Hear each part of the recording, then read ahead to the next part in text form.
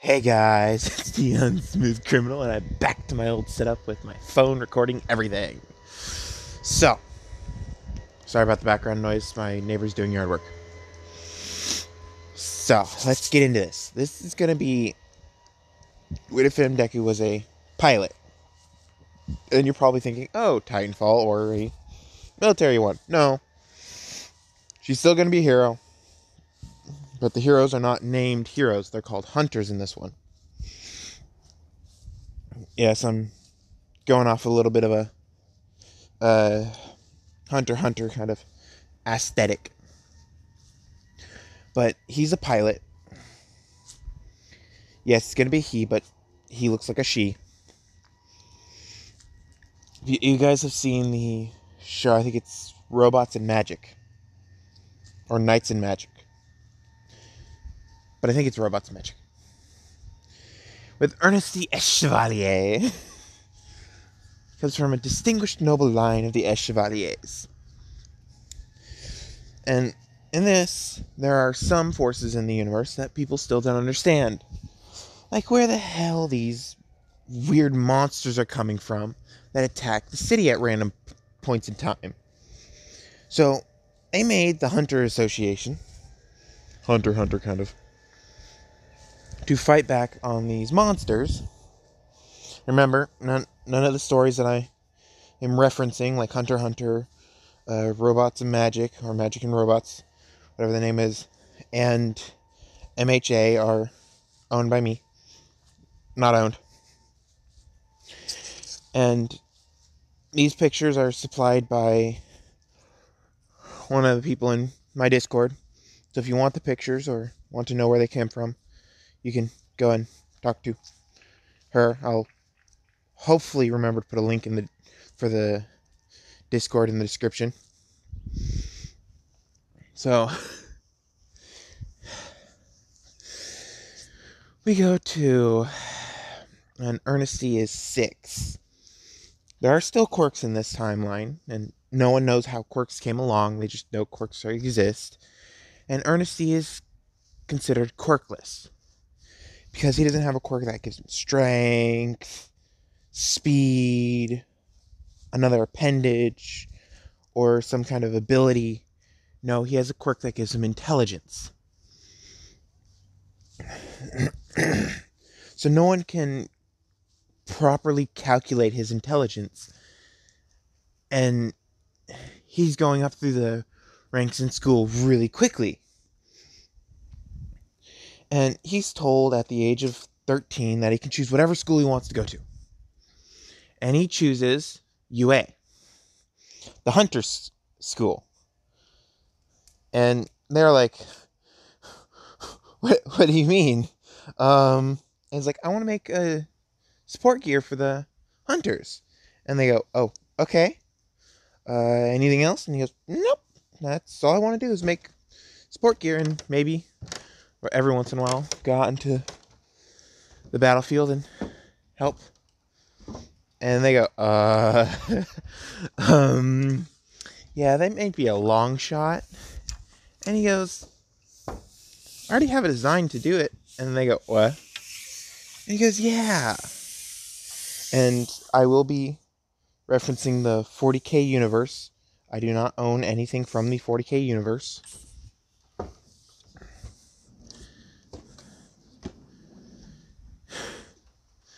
So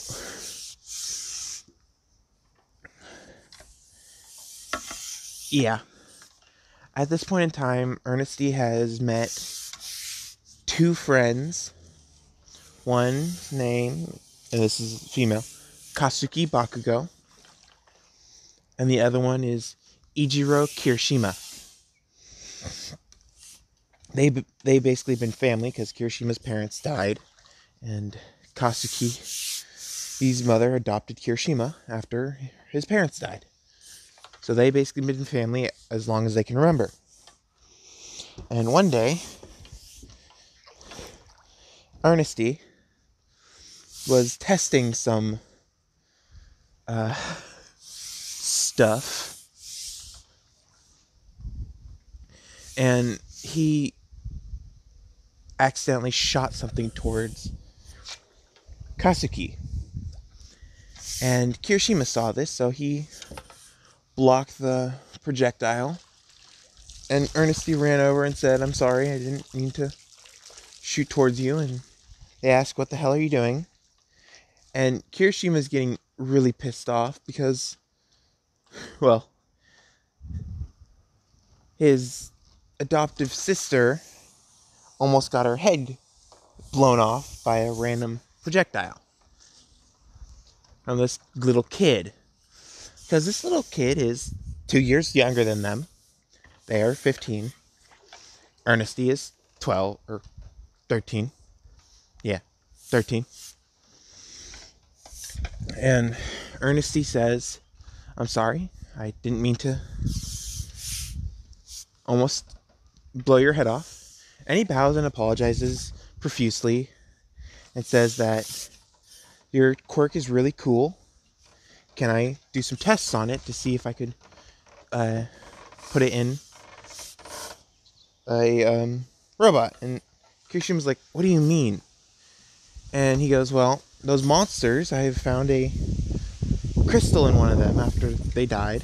I kind of pulled it apart and went through it. Found a crystal, and it looks like I can put quirks in these crystals to uh, give inanimate objects quirks. And he goes, What? And he goes, Yeah, let me show you. And he pulls out a uh, a little knife. And he says this was made from a tiny crystal with a light manipulation quirk. And he clicks a button and the blade is uh, just appears out of nowhere. And Kirishima's like, what? And he goes, yeah. And the entire time, Katsuki's just been staring at Ernesty, questioning both her sexuality and what gender Ernesty is. Because Ernesty does look like a female, as you can see in the picture. That, that is basically what Ernesty looks like, but not in a seductive position. And Ernesty's talking like a guy. So she's completely confused and she finally butts into the conversation. How old are you? And Ernesty goes, Oh, 13. And he goes, Oh, I need your guys' help. And they go, What? And he goes, Yes. Um, I need your help doing something. And I'll be right back. I gotta do something real quick. And after like 10, 20 minutes, Ernesty finally comes out in a little exoskeleton, and a thing is walking behind him. And he says to Katsuki, Can you help me with testing this design? And she goes, Sure, what is it? And he goes, Well, this design feeds off bioelectricity from your own body, and if you move it strangely, it will affect your body negatively. And they go, What do you mean strangely? And he goes, If you try to do anything that your body can't do, then you're going to hurt for a really long time after. And she goes, Okay. So what is it supposed to do? And he goes, It's supposed to increase the power of your quirk. And she goes, What? And he goes, Yeah. So there's a untuned crystal in there that is tuned to whoever's quirk or whoever touches it with a quirk active.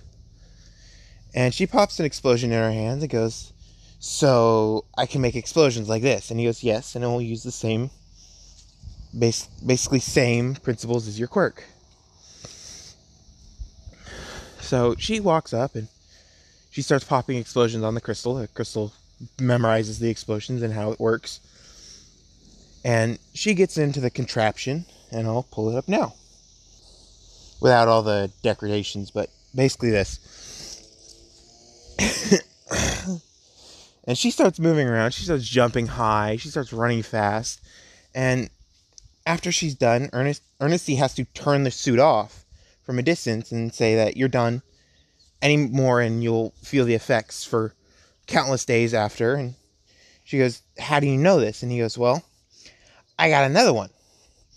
I got a small and a big one. And they go, You mean a small and big one? And he goes, Well, I got a small one for when I fight smaller monsters, and I got a bigger one for when I fight bigger monsters. And he runs into the warehouse again. Or not warehouse, the garage, basically. This is a massive compound that he's living at. And they just walked by, and that's when they were met. He runs in and he gets a suit for himself. I do not know where this picture originates, but yes, this is the picture. And he comes out and says, I have 13 quirks in this single one, and the quirks can only do a certain amount. Five of the quirks are meant only for the propulsion, and the rest are just meant for powering and giving an, an edge to the wielder. And then I have this, and he pulls the he stick from behind his back and he lights it off. And it looks like a battle axe, like you see in the picture. And they they go, Whoa, and he goes, Yeah. Sadly I'm not fully grown into this yet. And yes, Ernesty was a preemie, like in robots and magic. So yes, Ernesty Ernesty's very small. He's very schmool. And someone's been spying on him. And this little character is known as the greatest mind of this century. No, it's not Nezu. So he goes to the Hunters Association and talks to Nezu.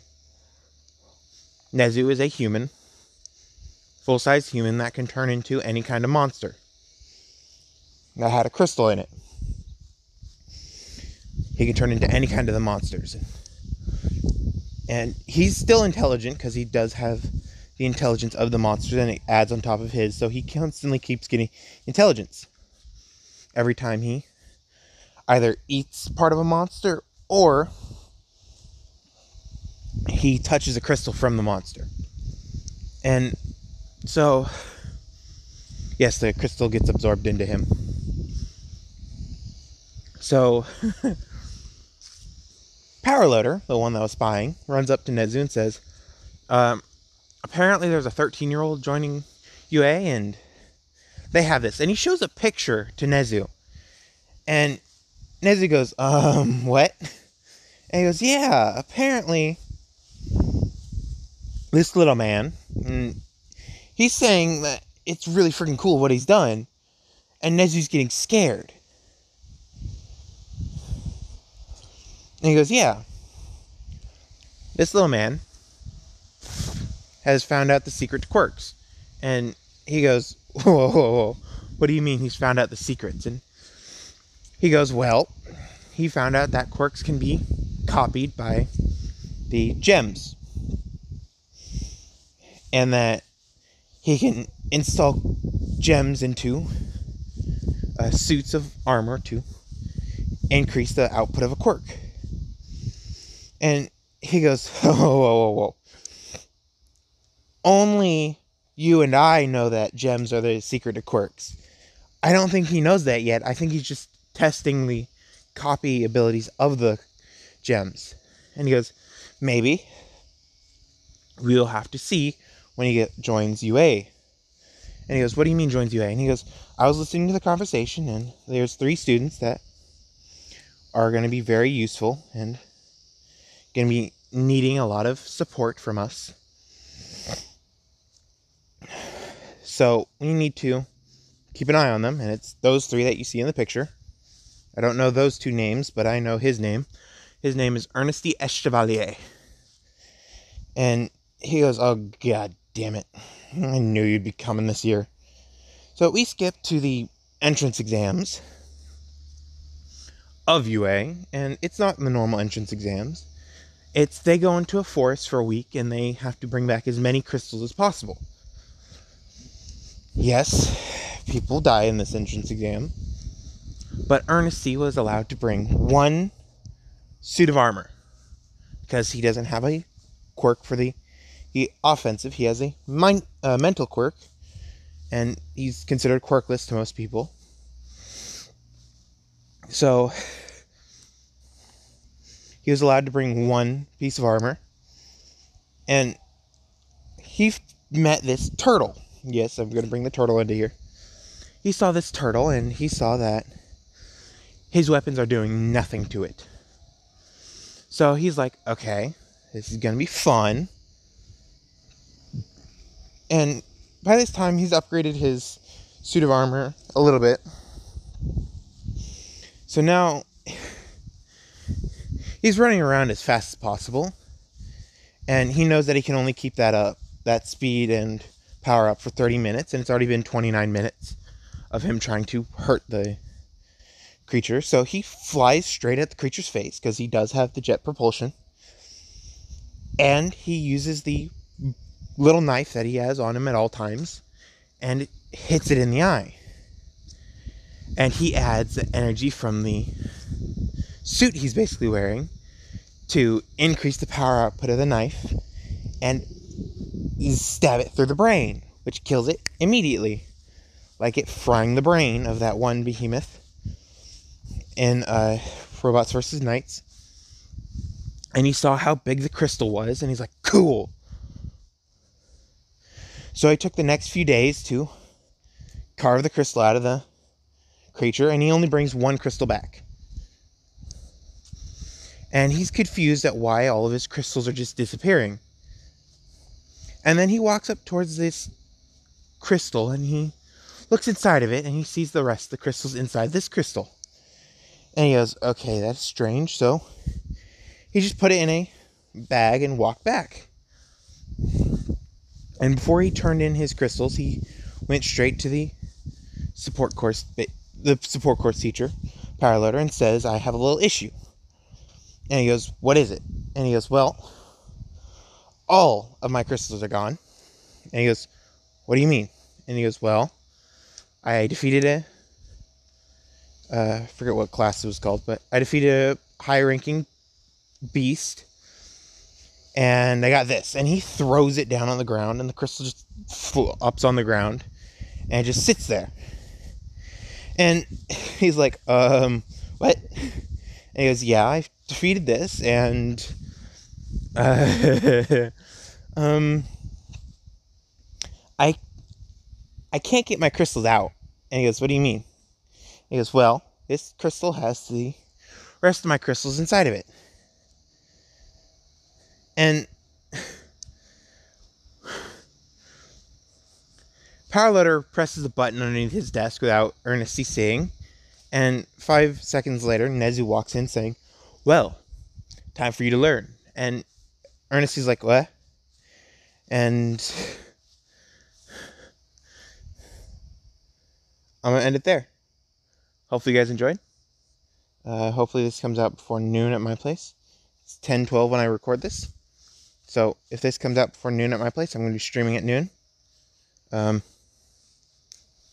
PST, Pacific Standard Time and 3 EST, Eastern Standard Time. So, hopefully, you guys enjoyed. Talk to you later.